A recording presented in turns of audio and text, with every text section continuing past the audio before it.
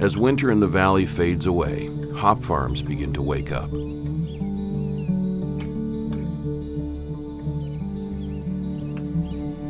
Equipment that has sat idle since the last year's harvest begins to get put back to work.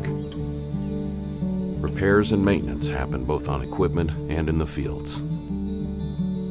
As the fields dry from a wet winter, crews are able to start prepping them for the hops, about to begin their journey up to the top of the trellises.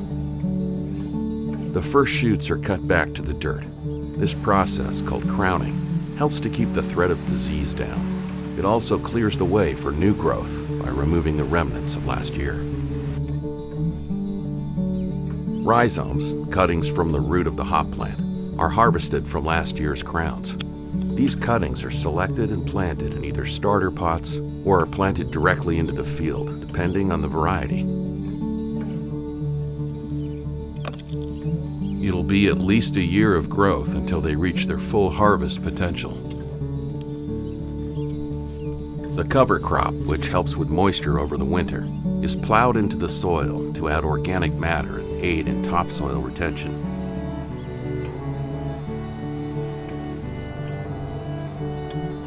Before the hops can grow up to the trellises, posts and other parts may need to be repaired. Crews check posts for rot and replace the ones that might not last through the summer.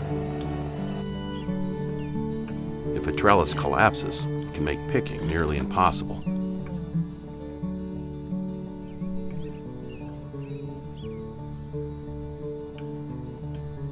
Once the repairs have been made, the twine can be strung. Stringing crews go through the fields and tie each knot by hand. The hops will climb the twine over the next six months.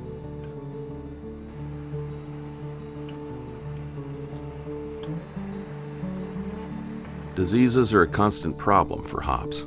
It's important to check plants for them early in the growing season. Scientists walk fields and check any plants that may have early signs of downy mildew or other diseases.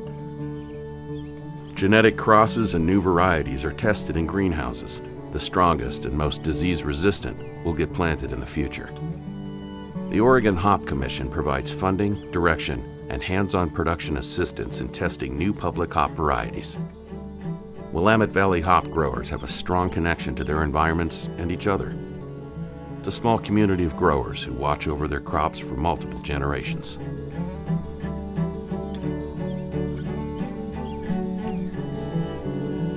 Great care is taken throughout the entire spring to provide the best environment for these plants to grow in beautiful cones in the late summer. These hops will be used in some fantastic beers across the country and around the world.